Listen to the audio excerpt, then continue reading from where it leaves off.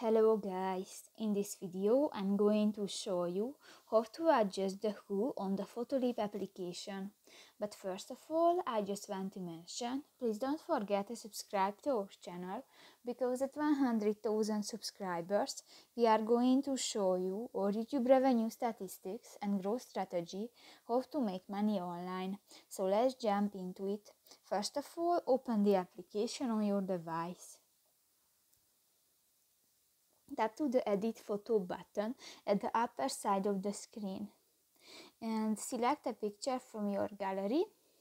You go to the fifth option the adjust at the bottom of the screen and go to the hue option.